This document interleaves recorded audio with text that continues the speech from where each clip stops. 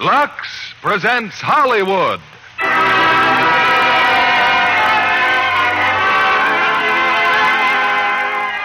Lever Brothers Company, the makers of Lux Flakes, bring you the Lux Radio Theater. Proudly presenting Photoplay Magazine's Gold Medal Award picture, Sitting Pretty, starring Robert Young, Maureen O'Hara, and Clifton Webb. Ladies and gentlemen, your producer, Mr. William Keighley.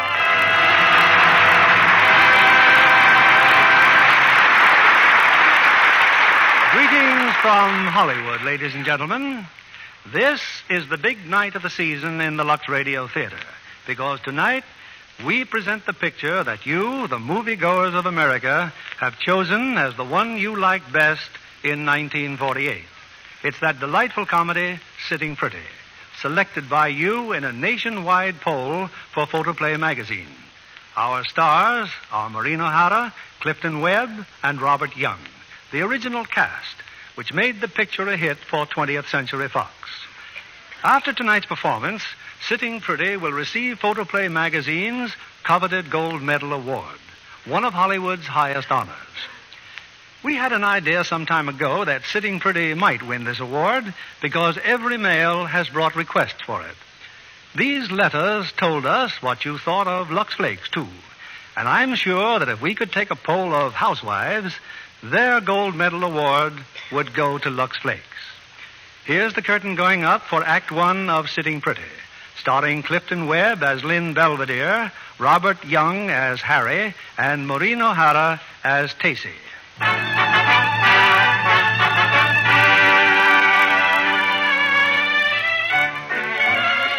Hummingbird Hill is a typical suburban community where everybody knows a little more than just a little about everybody else.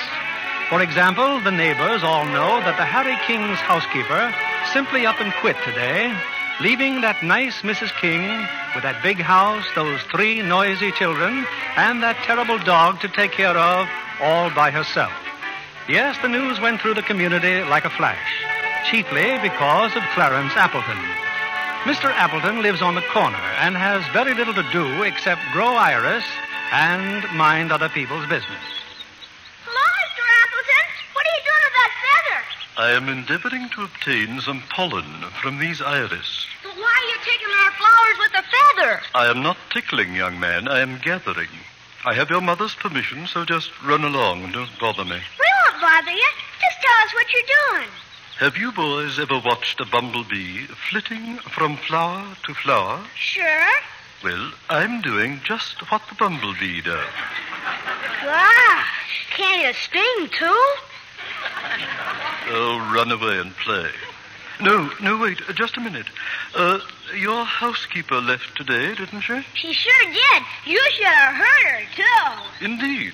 Uh, tell me, what did she say? Hey, Larry, here comes Pop. Pop, Hiya, Pop. Hiya. Hiya, Pop. Mom, Pop, Who left his bicycle in the driveway? I guess I did, Pop. Sorry. How many times do I have to tell you kids never to do that? Did Somebody's you lose left. another case in court today? No, I didn't lose another case in court today. I guess it's the heat. And Mrs. Maypole quitting. Some housekeeper. She sure was a drip, Pop. Maybe you've got something there. Well, how are you, fellas? Oh, fine.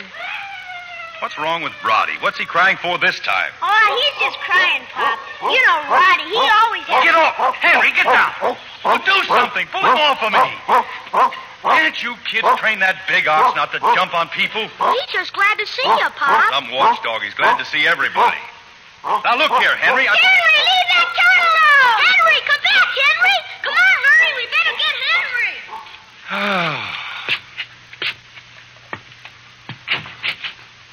Harry. Hi. Hello, honey. Bad day, huh? I'm sorry about Mrs. Maypole. Oh, Harry, she knew we had three children and a dog when she took the job. Now, don't worry, honey. You'll find somebody else. Say, isn't that Clarence Appleton in the garden? What the devil's he doing? Oh, that?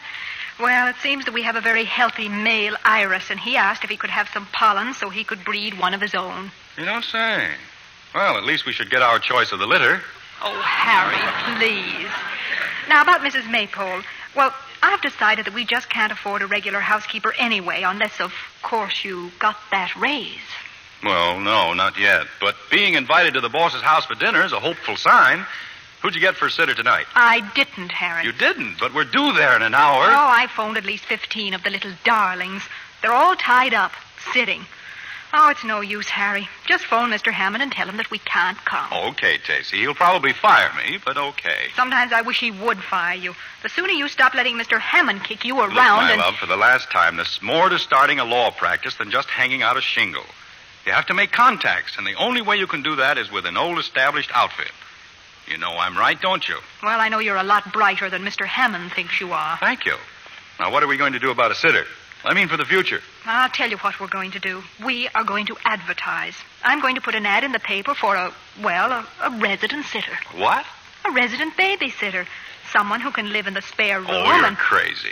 Oh, I knew you'd say that. But just you wait and see. There must be someone we can get.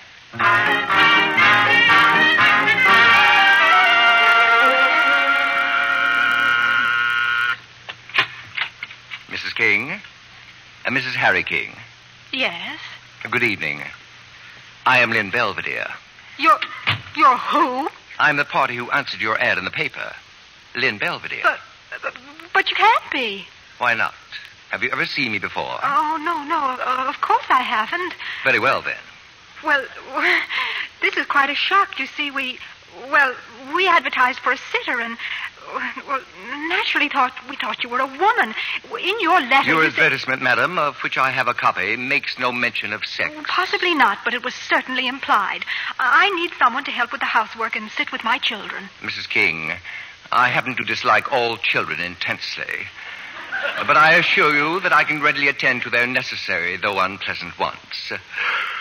Uh, sorry. I've just had a long and very trying journey in the day coach. Uh, may I see my room? Your room? But but my husband isn't home yet. Uh, that, if I may say so, is a matter of complete indifference to me. I take it you are not retaining my services to sit with him. But, but he's at the station. He, he's looking for you. I left the station 20 minutes ago. Well, he's expecting a woman. We we just assume that you were a woman. You have made that painfully clear, Mrs. King. Now, may I please see my room? Why? Well, uh, I guess so. It, it's upstairs. Thank you. Hi, Mama. Boys, what are you doing still up? Now go back to your room and go to sleep. Is he a babysitter? Gee whiz. Oh, um, uh, these are my sons, Mr. Belvedere, Larry and Tony. The uh, baby's asleep. Well, that's a blessing, isn't it? Mom, why is it a man? uh, they, they seem to be quite fascinated by you, Mr. Belvedere. The fascination, I assure you, is not mutual. Oh, uh, this is the room, Mr. Belvedere. We, well, we tried to fix it up as nicely as we could. of course, since you're a mister and not a miss, well, uh, one or two things are obviously a little out of place. Flowers? Yes, I, I cut them myself this I'll afternoon. just drop them here in the wastebasket. Uh, for my work, Mrs. King, I require an atmosphere of spot and simplicity. And may I ask what your profession is? Certainly. I am a genius. Oh. Oh, well, uh, well, good night, Mr. Belvedere. Good night, Mrs. King. Harry? Harry, is that you? You and your cockeyed classified ad. She never even got off the train. Well, darling. oh, darling, I've got something to tell you. While you were What's gone. so funny? Well, tell me. Uh, oh, I'm afraid to. You socked me. Oh, stop the comedy and tell me. Mrs. King, Oh. Um, uh, yes. uh, before I retire, may I inquire what time you serve breakfast? Hmm? Uh, I, um, uh, about 7.30. Uh, thank you. Perhaps I should tell you now. uh, I like fruit juice, coffee, and thinly sliced gluten bread, toasted. I'll, um, I- I'll try to remember. Uh, thank you. Good night. Who in the heck was that? That, darling, is Lynn Belvedere. Huh? Tacy, it's a man.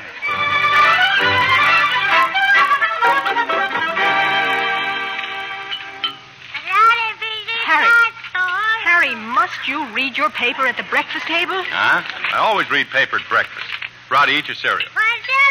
Harry, please. What are we going to do about Mr. Belvedere? Very simple. As soon as he deigns to join us at breakfast, I'm going to kick him out.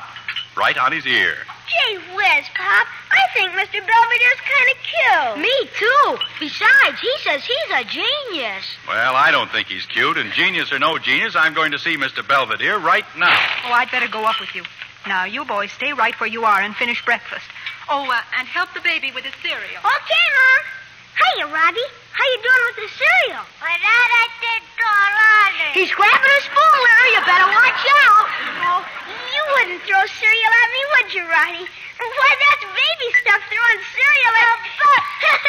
I warned you, Larry. I warned you. Roddy. Oh, gee whiz, right in my hair. Mr. Belvedere, kindly open your door. Mr. Belvedere. Not a sound, Harry. He- He's probably still asleep. Well, we'll soon find out. Good morning. Oh, Harry, look. He's standing on his head. Good morning. You you are standing on your head, aren't you? I am. Oh, oh, we're sorry to dash in on you like this, Mr. Belvedere, but we did knock. I don't doubt it, Mrs. King. When I practice my yoga, I'm completely out of this world. I take it breakfast is ready. Now look here, you. When I talk to somebody, I want to look him in the eye, not in the foot. well, say something. It's no use, dear. He's out of this world. He told you so. Come on, Harry. That's so silly. I never heard of such a thing. Standing on his head of all.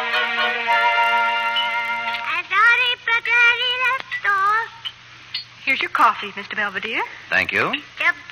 Oh, Roddy, no. Now put down that spoon. Roddy, all over Mr. Belvedere's sleeve. Don't do that, little boy. Now, uh, look here, Belvedere. A joke is a joke, but this can't go on. Kindly be more precise, Mr. King. What can't go on? You're staying here, that's what. I'm perfectly willing to carry out my end of our agreement. I see no reason why you should default on yours. But it's impossible. You couldn't do the things we require. For example, could you. Could you bathe Roddy? Mrs. King, for many years I have successfully bathed individuals of all ages and sexes, and I've never had any complaints. Little boy, don't do that again. That's enough, Roddy. Now stop it. Mr. Belvedere, my uh, wife tells me you're a genius. That is correct. Well, if I'm not too inquisitive, do you mind telling me what form it takes? Your genius? I am, in my way, a philosopher. Oh, I see. You, you just sit and uh, think. Mr. King, if more people just sat and thought, the world might not be in the stinking mess that it is. Well, maybe you've got something there. And you can really handle children? Hey, Mom, Mom, Henry, I believe you mentioned only three children. Uh, Henry's the dog. He's a Great Dane. Probably the only Great Dane in the country who'd rather chew my shirts than chew a bone. I dislike dogs intensely, Mr. King, almost as much as I dislike children. And your children, if I may say so, have peculiarly repulsive habits and manners. However, I assure you I can cope with them successfully if given a free hand. Gesundheit. Uh, Tony, Larry, sit down and finish your breakfast. Tacy, I, uh, I'm going to the office. So long, kid. See you tonight. Bye, Dad. Oh, uh, Tacy, would you mind walking to the car with me? Oh, uh, excuse me, Mr. Belvedere. Mm, And where do you boys think you're going? We'll go to the car, too. You will remain seated. Huh? Sit down. Finish your breakfast and chew each mouthful 28 times. Why? Not 20, mind you, nor 26, but 28 times. As for your baby brother, nice going, Roddy. Bullseye. Right in Mr. Belvedere's face. So, what do you think, Tacy? Should we give the guy a whirl? Maybe for, no, for a day or two? Oh, I suppose so. At least the boys seem to like him. Roddy, what's happened to Roddy? Well, don't just stand there. He's been hurt. He's screaming. Larry, Tony, what happened to the baby? Harry, look. Cereal. Roddy's got cereal all over his head. Yeah, bowl and all.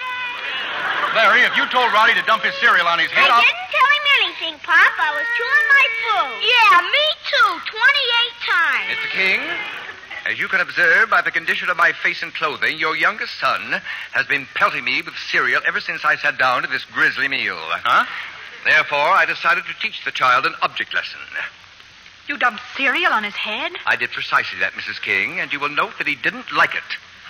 I guarantee that he will never throw cereal at me or anyone else again, ever. Mr. Belvedere, consider yourself hired. He's done that to me, too. You know, you've got something. I couldn't agree with you more, Mr. King.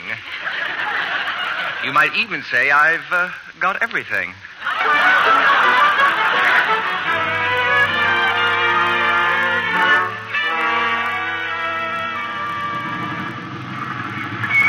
Hiya, fellas. Hiya, Pop. Hey, look at us. Well, what goes with you two? We're standing on our heads, Pop. Mr. Belvedere taught us. It's yoga. Oh, it feels swell. He says it relaxes you. Well, just be careful you don't relax so much you break your necks. We won't, Pop. Hi, baby. Everything under control? Hello, darling. Oh, Harry, he's terrific. He's got the kids out there standing on their heads. And they love him. They've been as good as gold all day. They what? He gave Roddy a bath, and there wasn't a peep out of him. Well, I'll be a... Hey, the dog. What's the matter with Henry? Is he sick? No, darling. But he must be. Look, he just walked in and lay down. Tacy, that's the first time I've ever seen Henry walk. Every other time he's just galloped. He's not barking. No, darling. It seems that Mr. Belvedere used to be a dog trainer or something. Huh? And he had a long talk with Henry this morning. Henry's been quiet as a mouse ever since. Isn't it wonderful? It's incredible. But there's just one thing, Henry, Harry. Mr. Belvedere, well, he's he's sort of mysterious. How do you mean? Well, he locks himself in his room. I went up and listened, but I couldn't hear a sound. What do you suppose he does up there? He's so quiet. Oh, maybe he stands on his head. That doesn't make much noise. Oh, Is he up there now? oh no, he's out taking a walk. Then why are we whispering? Oh, I forgot. He says he's going to go out for a walk every night before dinner. Harry, do you suppose it would be very unethical if we went It up most certainly and- would. But let's go.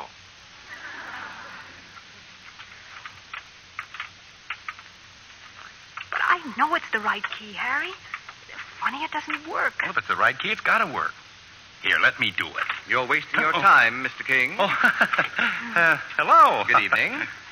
Knowing human nature as I do, I suspected that you might try to snoop. This is a new lock on the door. But, but it can't be. I, I didn't order a locksmith. There was no occasion to, Mrs. King. I am an expert locksmith. And now, if you'll excuse me, I will see you both later at dinner. oh, oh uh, Harry, will you, um...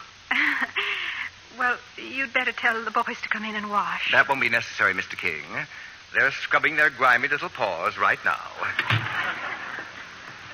I don't know, Tacy. He may be all right, but let's face it, he is a screwball. Well, a little eccentric, maybe, but... Father? Since when am I father? Pardon me, sir, but I wish you'd see if Tony and I are good and clean. Are we, Father?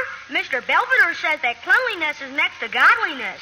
Well, dear, need I say more? I guess he stays, Tacy.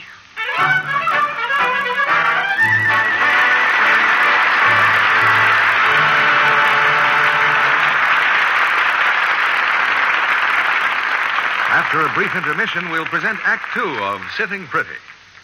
What is that book you were chuckling over, Libby?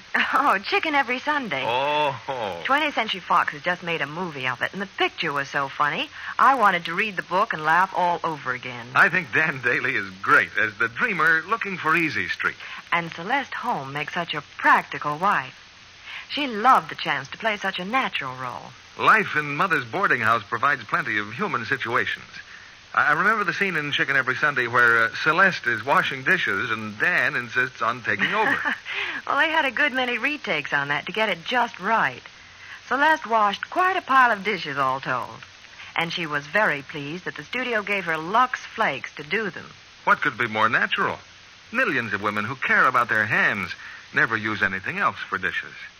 Lux Flakes are so mild and gentle, they don't redden or roughen hands, as strong soaps often do.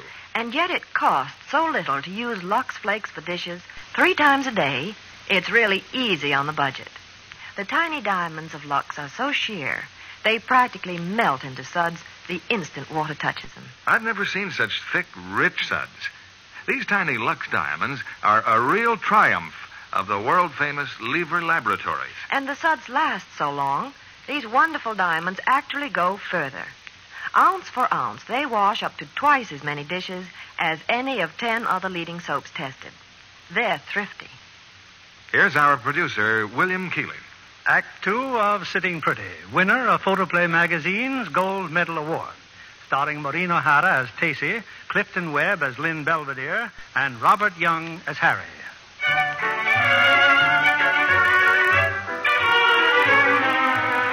Well, you just wouldn't recognize the King household anymore.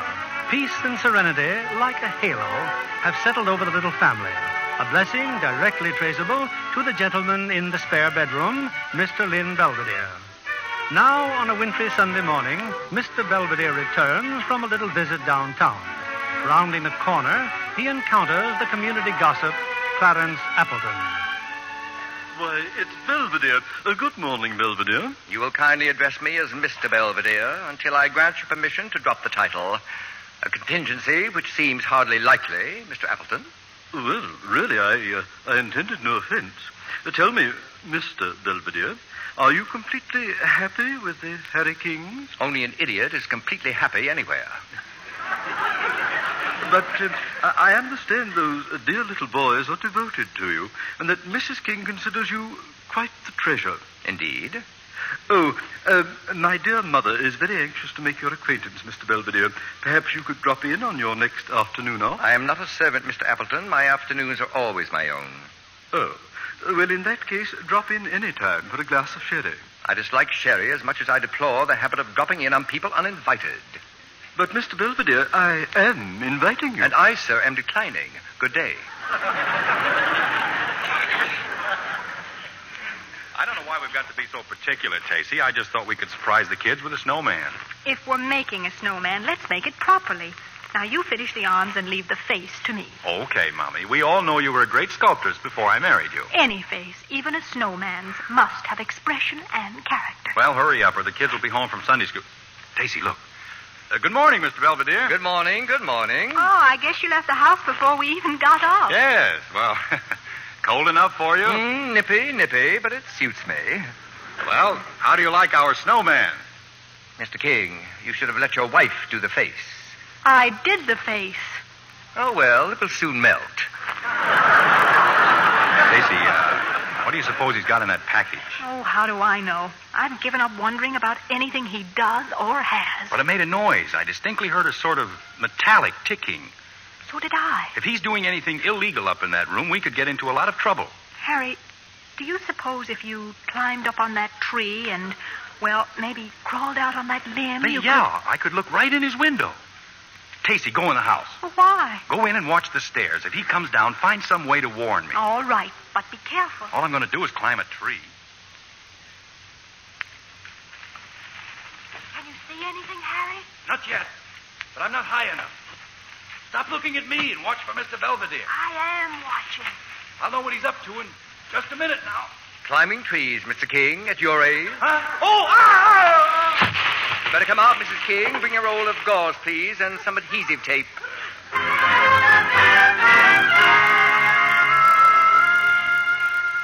Ow, ooh, take it easy, will you? That's my wrist. Kind of keep still. You're lucky that no bones are broken. I must say that's a very professional bandage, Mr. Belvedere. There aren't many people who could do that. That's substantially what General Pershing told me during the First World War. You were a doctor, too? A bone specialist. Oh, no. Is there anything you haven't been? Yes, Mrs. King. I've never been an idler nor a parasite. Or have I ever climbed a tree to look into someone's bedroom. Now, Mr. King, how does your wrist feel? I guess I'll live. I hope it's better by tomorrow. I've got to go to Chicago. Indeed. Oh, oh I, I thought I told you, Mr. Belvedere. Yes, he, he has to go to Chicago on business. Mm, you'll have nothing to worry about, Mr. King. I shall endeavor to pinch hit for you at every available opportunity. Well, thanks. That'll be just. Tacy, am I hearing things? Something squeaked. Why, why, yes, I heard it too, like like a bird. That's precisely what you heard. The twittering of a bird. The cage is in the living room, Mrs. King. Where on earth did it come from? That was my package, which you and Mr. King stared at so pointedly a little while ago. I'm opposed to the practice of exchanging gifts at any time, but since you were gracious enough to give me three pairs of excellent woolen socks on the occasion of my birthday, I try to get something for your anniversary that would give pleasure to your entire family. In brief, a canary bird. Oh, how very kind of you. Thank you, Mr. Belvedere. Oh, he's beautiful. Does he sing? Not yet, but uh, I shall teach him.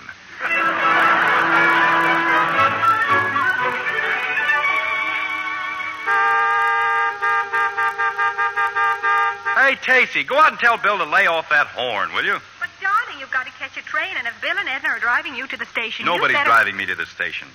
I've just decided I'm not going to Chicago. Well, why not? I can't go. I can't leave you here alone with Belvedere. Alone with... Are you out of your mind? Well, you seem to find him very attractive, Tacy. I find the Grand Canyon attractive, too, but that doesn't mean that I'm in love with it. You're mad about him. Oh, I am insane with passion. Now, look, Tacy, I, I'm not suggesting that you and Belvedere will carry on while I'm gone, but... oh, that's darn white of you. But you know how gossip starts, and, well, I just Look, thought... would you feel any better if I slept at Edna's house while you're gone? Well, yes. Yes, I would, definitely. The kids won't like it. Well, I'll break it to them gently when they get home from school. You, uh, sure you don't mind? Certainly I'll mind. But every night I'll go over to Edna's and Bill's. Now pick up your bags, darling, and beat it. Do you want to get a kiss? No.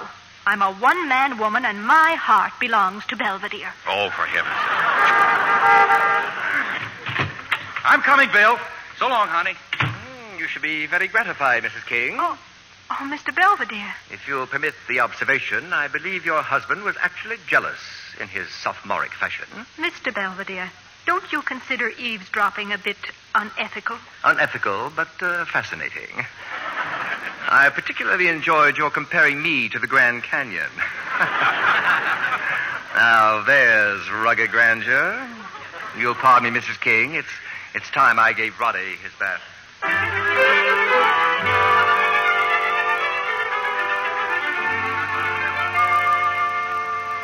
Larry, Larry, wake up! Larry! What's the matter, Tony? Larry, I'm sick. My stomach hurts. Go back to sleep and you'll feel better. I can't. It hurts. Tell Mom. How can I tell Mom? You know she's sleeping on Aunt Edna's. I want my Mom. Will you pipe down, Tony? You'll wake Mr. Belvedere and Roddy. I don't care. Shh. Look, Tony, I know. Why don't you stand on your head the way Mr. Belvedere taught it? I already tried, but I only threw up. okay, okay, Tony. I'll wake Mr. Belvedere, but I'm warning you, he won't like it. Oh, you kindly stop moaning, Tony. You requested your mother's presence, and I've already telephoned for her. She'll be here in a moment, and I've. Larry, put that bottle down. Tony said he wanted a drink, Mr. Belvedere. A drink of gin? Can't you read, young man? The label on that bottle clearly says distilled London dry gin. Oh, oh, that. It really isn't gin, Mr. Belvedere. The regular water bottle got smashed. It's just ice water. When your mother arrives, she can drown him in ice water as far as I'm concerned. Until then, put the bottle down. Oh, are you sure you called the right number, Mr. Belvedere? Kindly credit me with enough intelligence not to lose my head in a crisis. If I'm not mistaken, and I never am, there's a car turning down the corner right now. It's all right, Tony, darling. It's all right. There now, back in bed and go to sleep. You'll be fine in the morning. Gosh, Mama, thanks for coming. Oh, did you take his temperature, Mr. Belvedere? No, I'm satisfied that he simply has a bellyache. No more, no less. Oh, well, he feels nice and cool. I assure you I could have handled the situation perfectly well myself, only the child expressed a maudlin desire for his mother. Well, I'm glad you did, Tony. Are you going to sleep here, Mom? No, dear. I'm going right back to Auntie Edna's. Oh, and by the way, Dopey, the next time you find a package of chewing gum, be sure it is chewing gum. Good night, darling. I'm sure he'll go right to sleep, Mr. Belvedere. Whereas I should be plagued with insomnia. I also hope you'll forgive my appearance. I don't usually rush through the streets in the middle of the night in a bathrobe and. Whoever could that be? If you go to the door, you need not conjecture. Oh. Mi- Mr. Appleton. Please pardon the intrusion, Mrs. King, but I noticed all the lights go on, and knowing your husband is away, I felt constrained to dash over to see if anything was wrong. No, thank you, Mr. Appleton. Everything is fine. Oh, well, just a neighborly call, you might say, to offer my services if needed. I can see that they're not. And how did you know our lights had gone on? Uh, did you borrow your mother's binoculars, or were you perhaps looking for pollen on your iris? Put, put down that bottle, Mr. Belvedere. I shall, Mr. Appleton. I merely intend to have a drink. Well, well, I can see that I'm not needed here. Your vision is remarkably accurate. Evil minded little worm. Mrs. King, do you know anyone who has a beehive? A good swarm of bees could ruin his iris. Hmm, I know. But how could you get them to swarm? Uh uh uh, now, don't tell me you were also a beekeeper. That is correct. Well, good night, Mrs. King. Good night, Mr. Belvedere.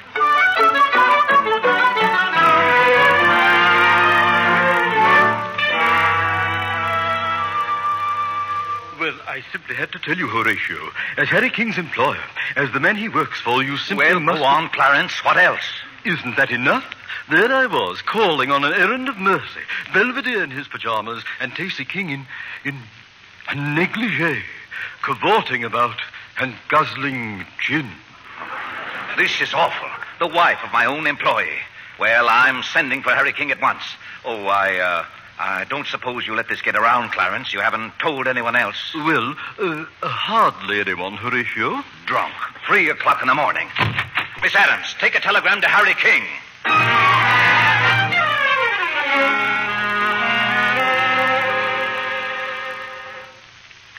Now, if you'll just hold that pose, Mr. Belvedere. Oh, you're not getting bored, are you, Edna? Bored. I'm having a wonderful time. But I do have to run along. You may not have known it, Mr. Belvedere, but Tacy used to be quite a sculptress. Hmm, it's possible. And I think it's very sweet of you to pose like this and give her a chance to practice. My motives, Mrs. Philby, are not entirely unselfish. Someday they will need a bust of me in the Hall of Fame. The only virtue you lack, Mr. Belvedere, is modesty. I do not consider that a virtue. Oh, I do. Harry is very modest. Your husband has a great deal to be modest about. Don't let him get you down, sweetie. See you at the house tonight, huh? As usual, right after dinner. Goodbye, Mr. Belvedere. Uh, thank you for going. now perhaps we can get something accomplished. I doubt it. It's your jaw, Mr. Belvedere. Your jaw, it, oh, it just isn't right. My jaw is perfect. Come here and I'll demonstrate. Now, if you if you place your fingertips at the base of my jaw, Like, like this? a little higher. That's it. There we are. Now, feel how the orbicularis oris operates. Now, over here, at the jawbone. Well, can't you feel it? Oh, yes, yes. Well, well, this is a cozy little scene. Harry! Why, darling, what a wonderful surprise. I didn't expect you till Thursday. Pretty obvious you didn't. Would you mind telling me just what you two were doing? I was permitting your wife to massage my larynx. And I might add, Mr. King, that your greeting to Mrs. King is scarcely cordial. I'll greet my wife any way I like. Harry! I came back from Chicago because Mr. Hammond sent for me. I just came from his office with my head so full of gossip that I don't know whether. Gossip? What gossip? About you and Belvedere. Now, look here, Tacy. Stop raising your voice. I'll raise the roof if I want to. Tacy, look, I, uh, I'm willing to believe that all these rumors about a drunken orgy with Belvedere are, are, are somewhat garbled, but. so that's it. The fine hand of Clarence Appleton. But my gosh, Tacy, just now when I came into the house, you were practically holding Belvedere in your arms. She was merely feeling my bone structure. You shut up and listen. I am listening. All I can hear is a typical suburban husband reacting in a typically stupid and stuffy manner to a typical tempest in a teapot. He's right. And as for that drunken orgy, Tony got us all up in the middle of the night with a stomach ache. I dashed over from Edna's and I wasn't in the house ten minutes when that horrible little Mr. Appleton came snooping around. Oh, well, I uh, imagined it was something like that. Look, um, I'll admit it's all pretty silly, but. Uh, Well, but what? Well, I was just thinking that perhaps it might be simpler all around if, if Mr. Belvedere sought employment elsewhere. I see. To satisfy malicious gossips like your dear boss and Clarence Appleton, you want us to, to kick Mr. Belvedere out. In a word, yes. Uh, that is your final decision, Mr. King. Yes.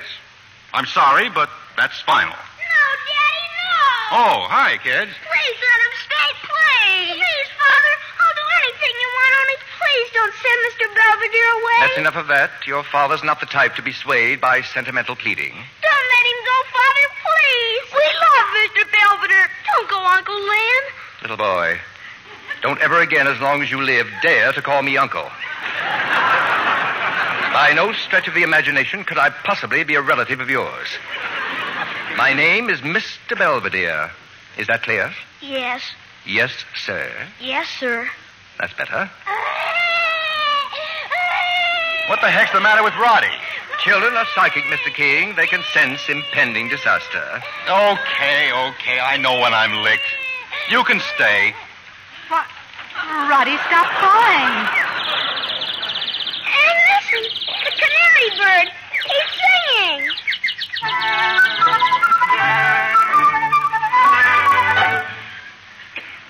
You, uh, sent for me, Mr. Hammond? Yes, Harry, I did. Sit down, Harry. Sit down. Harry, how long is it since you returned from Chicago? Oh, about a month, Mr. Hammond. A month. Harry, the firm of Horatio J. Hammond and Associates has a spotless name in this community. Absolutely spotless. Yes, I'm sure it has. And as I told you about a month ago, I consider it mandatory for all connected with this firm and their wives never to incur the slightest gossip of a scandalous nature. Oh, now, wait a minute. If you're still harping about those stupid rumors. I do not harp. Harry, where was your wife last night? Now, look here, Mr. Hammond. This has gone far enough. I agree with you. Last night, your wife and Mr. Belvedere were seen together at the Crystal Cafe. They were dancing the rumba. That's ridiculous. Last night, Tacy and Edna Philby attended a lecture at the Women's Club. You were with your wife? No, I wasn't. I, I was tired and I went to bed early. I don't doubt that Tacey might have attended the lecture. But I know that after the lecture, she was dancing the rumba with Mr. Belvedere at the Crystal Cafe. I saw them there myself. So did my wife, Mrs. Hammond. So did Clarence Appleton and his mother. Now for the details. Oh, it hurts me, Harry. It hurts me deeply to tell you this.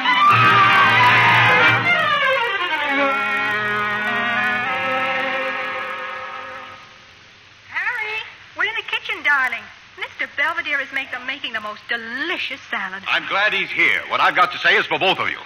Tacy, why didn't you tell me you were out dancing with this man last night? Now, what have you heard? Answer my question. Why didn't you tell me? Well, I tried to tell you when I got home, but you were so sleepy and disagreeable you wouldn't listen. Then, then, then why didn't you tell me this morning at breakfast? I can be sleepy and disagreeable, too. Mr. King, our meeting last night was purely coincidental, but uh, most enjoyable. Then you admit it. Certainly. Moreover, he rumbas like a saint. I don't care if he dances like Arthur Murray. You may be interested to know, Mr. King, I taught Arthur Murray. Now look, Tacy. Your conduct is making me the laughing stock of Hummingbird Hill. Why, Mr. Hammond said, Stop shredding that lettuce. Life must go on, Mr. King. Well, it's not going on with you in this house. Harry, I think you'd better pull yourself together. After the lecture last night, Edna and I went to the Crystal Cafe for a cup of coffee. It just happened that Mr. Belvedere was there. Go on, Tacy. He was kind enough to dance with me. Then we each had a cocktail. We went Dutch, Mr. King.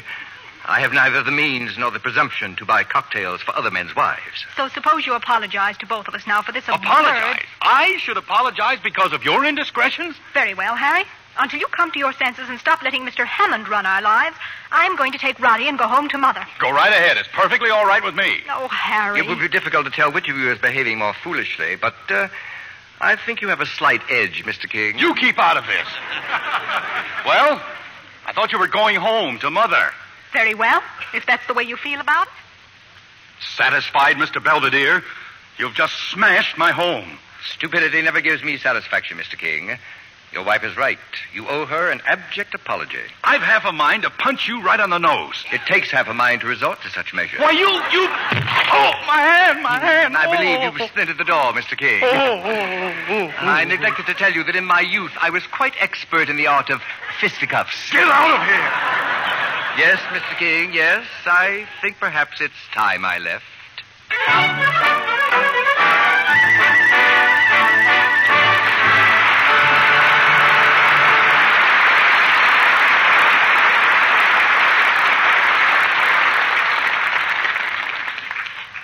We pause now for station identification. This is CBS, the Columbia Broadcasting System.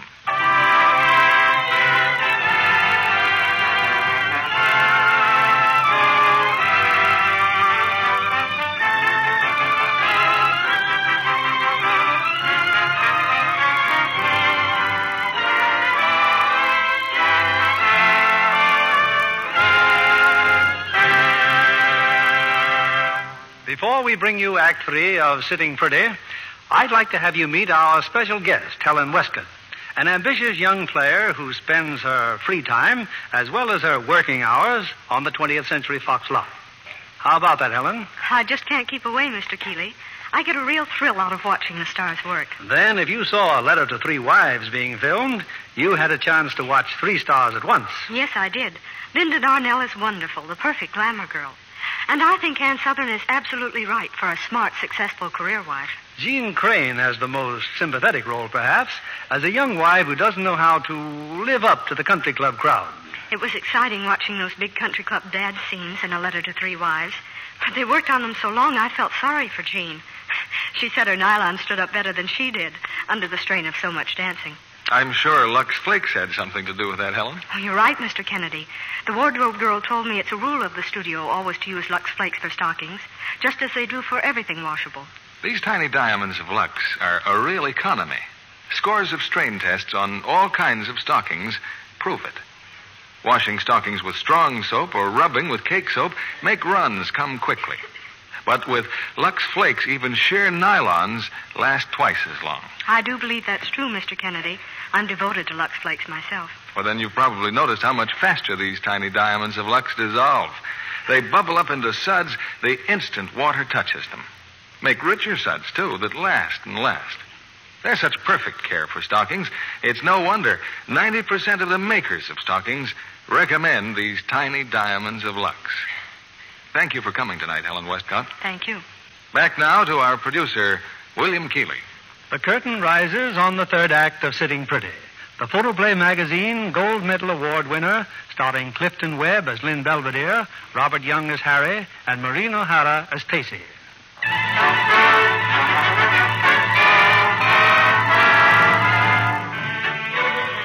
For ten days now, Hummingbird Hill has had plenty to talk about. Tacy has taken the baby and rushed off to her mother's. Mr. Belvedere has mysteriously disappeared. And Harry is struggling unhappily to keep together what remains of his home.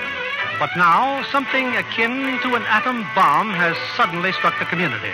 A new novel has appeared in all the bookstores, and the critics are raving about it. Unknown author writes brilliant satire of life in the suburbs. Sensational new novel hailed as best in years. First and second printing sold out entire country clamoring for copies. And what has this book to do with Hummingbird Hill? Plenty. It's all about Hummingbird Hill and the people who live there. And the author, of course, is none other than Lynn Belvedere.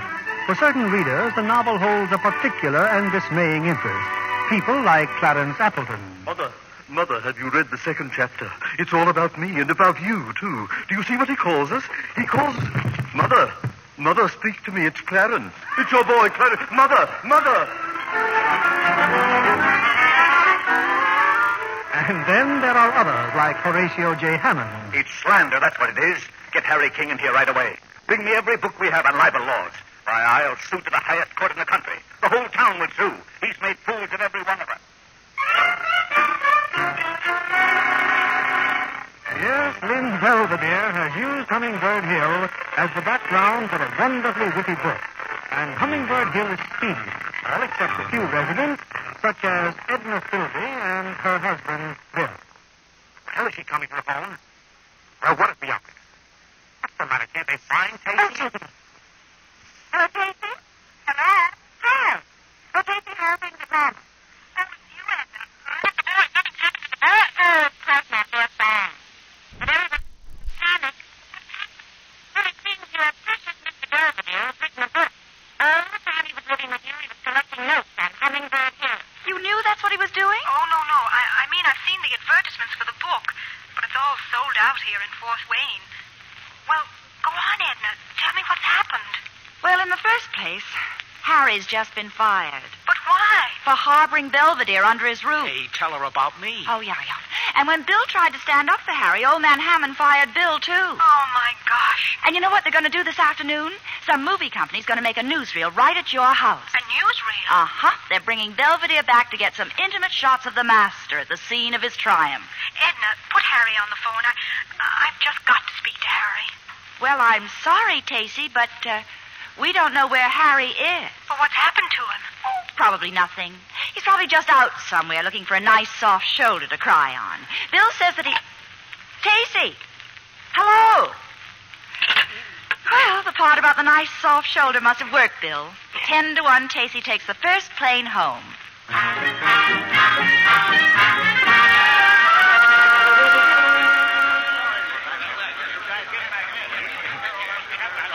What's the matter with you policemen? We're trying to make a newsreel in this house.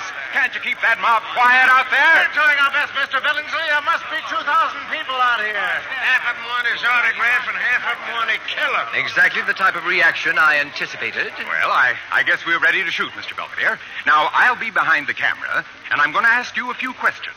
So just be perfectly relaxed, and I'll. Young man, I need no instructions. I have directed many pictures. Oh, I'm sorry, I didn't know that. All right, boys. Quiet. Quiet, quiet, please. Roll them. Now, Mr. Belvedere, tell us. How did you write this book? I wrote it with a quill. Oh, that's, that's very interesting. Well, what's that? You're not supposed to let it Officer, I, I live here. I, I guess I can go into my own house. I don't know, lady. Hey, Chief, she says she lives here. Let her in then. Oh, you're Mrs. King, eh? I most certainly am, and if you try to stop me, I'll sue the police department. You might as every- well, lady. Everybody else in town has got a lawsuit. Let her through, Al. Tony, yeah. Larry, Tony. Oh, you darlings. Oh, I missed you so much. Where's Daddy, Mom? Oh, I left him with Auntie Edna. Oh, it's so good to see you. Where's Daddy? He's inside, Mom. They're letting him watch the movie. Well, we're going to watch too. Come on.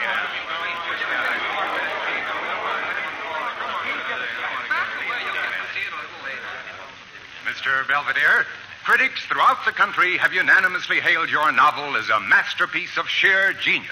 That is correct. Well, uh, how do you feel about it? I feel they were quite conservative. Quiet over there. We're trying. Cut, cut. That must be Mrs. King. It certainly is. Oh, Tacy.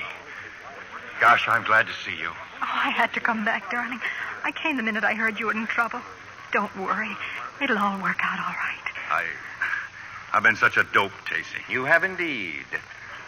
But there's no need to be emotional, Mrs. King. He won't starve.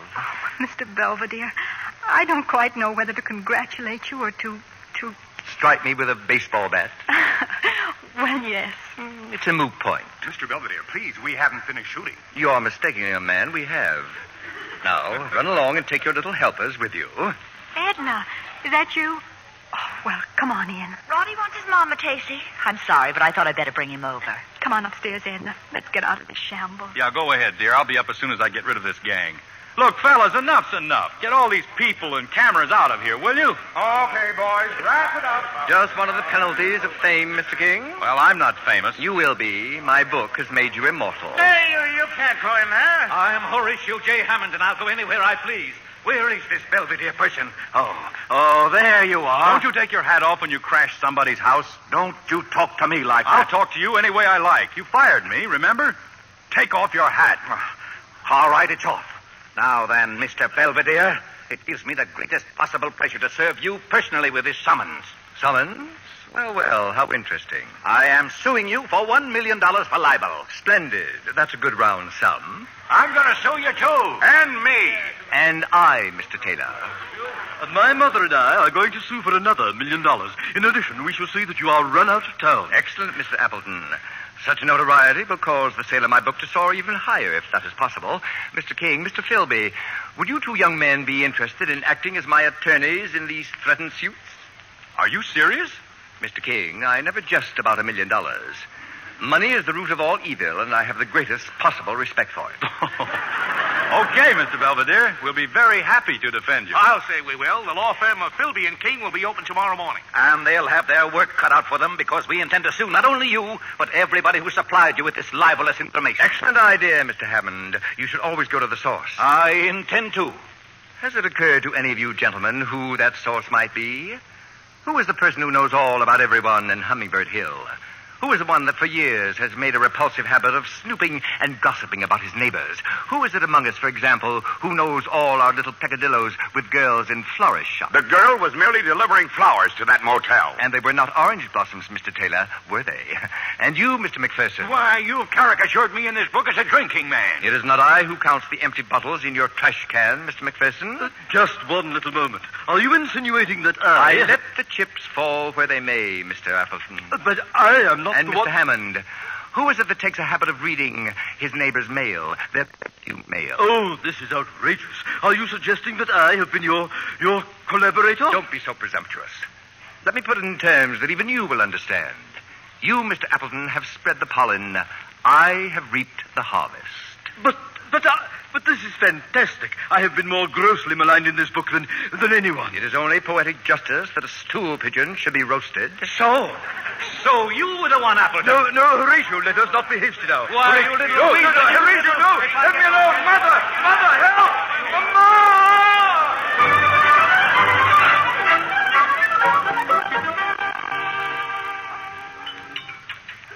More toast, Harry? Coffee? Thanks, Stacy. Hey, take a look at this. They've got Clarence Appleton's picture in the paper. Boy, what a shiner. I bet it nearly killed him when Mr. Hammond went over and trampled down his iris bed. Well, uh, how would you like to go celebrating tonight? hmm, love to. Would you care to take me dancing? Dancing? Remember, I uh, don't dance as well as Mr. Belvedere. No, dear, but you're much prettier.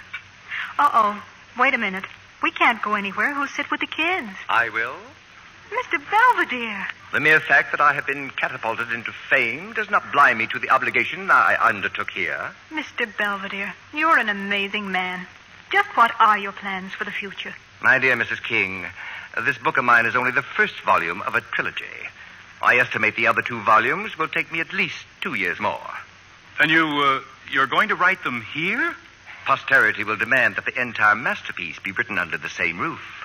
Your house will become a shrine, Mr. King. I'm surprised that you even want to stay. It can't be very convenient. You claim you don't even like children. Uh, that is correct. Now, if you'll excuse me. Oh, uh, Mr. Belvedere, Yes?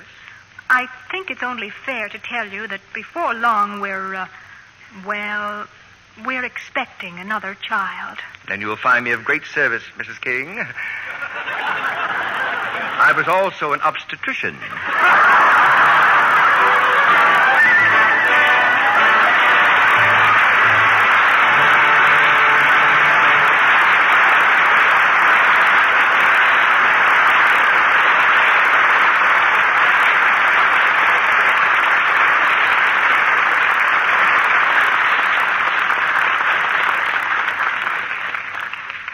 Our stars will return for their curtain calls in a moment. All aboard for London, Paris, Cairo, Honolulu. But hurry, it's the chance of a lifetime. Don't miss the boat in Lever's sensational $50,000 travel contest. You may win the most wonderful vacation you'll ever have in your life. Just imagine. First prize is a round the world tour for two. All travel expenses paid, plus $1,000 pocket money and $700 for new clothes. Or you can have $10,000 in cash. And that's not all. Fifteen wonderful second prizes, too. Each an all travel expense trip to Europe. Or $2,500 in cash. Besides all that, there are 400 additional cash prizes, each a crisp new $10 bill. If you win the first prize, you travel in luxury for 101 days. The best accommodations everywhere. All trips are arranged by Thomas Cook and Son, world famous travel agents. Get in on this exciting contest tonight. Here's all you do. Just finish this statement in 25 words or less. I like the large size box of Lux Flakes because. Send each entry with a box top from the large size Lux Flakes to Lever Tour the World Contest, Box 1, New York 8, New York. Follow complete rules on the entry blank you can get at your store. Get your entry in this week, sure. This is our last announcement on the Lux Radio Theater. Mail entry to Lever Tour of the World Contest, Box 1, New York 8, New York. Only residents of continental United States, Alaska, and Hawaii are eligible. We return you now to William Keighley. We know now why Sitting Pretty was picked as the favorite film of the year. And here are three of the reasons Robert Young, Maureen O'Hara, and Clifton Webb.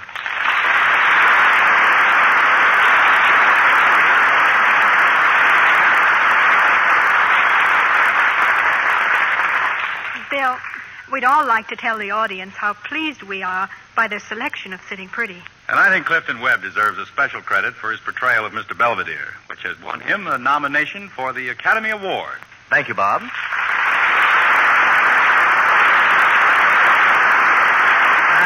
now, of course, 20th Century Fox has starred Clifton in a sequel to Sitting Pretty. The new film is Mr. Belvedere Goes to College. Imagine me in college, the all American tackle of 1949. I'll probably wind up in the Rose Bowl. Uh, playing tackle? No, picking roses. well, you'll all be picking up medals later tonight when Sitting Pretty receives Photoplay Magazine's Gold Medal Award at the gala dinner at the Beverly Hills Hotel. I understand George Jessel will be the master of ceremonies. That's right, Bob. And our audience can get complete details of all the awards in the March issue of Photoplay magazine, which is out now. I was very pleased to learn that The Street with No Name has been selected as one of the ten most popular pictures of the year. Oh, Bill, before we leave for the dinner, I'd like to pass on a personal award of my own to Lux Flakes. We always have it on hand at my home. Thank you, Maureen. And now for next week's play. It's a current success from Universal International Studios, The Unafraid. And we'll have the original stars of the picture Joan Fontaine and Burt Lancaster. This is a hard hitting action drama that brings together for the first time a new romantic team the lovely and accomplished actress Joan Fontaine and the two fisted Burt Lancaster. You'll have another hit in your hands, Bill. Good night. Good night. Good night. I'll see you all later at the Photoplay Awards dinner.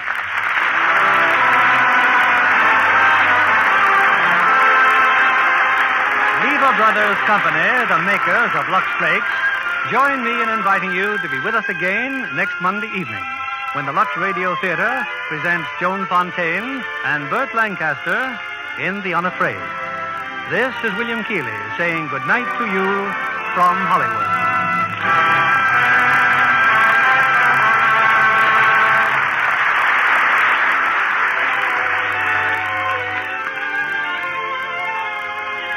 Maureen O'Hara appeared through the courtesy of 20th Century Fox, producers of Down to the Sea in Ships, starring Richard Widmark and Lionel Barrymore.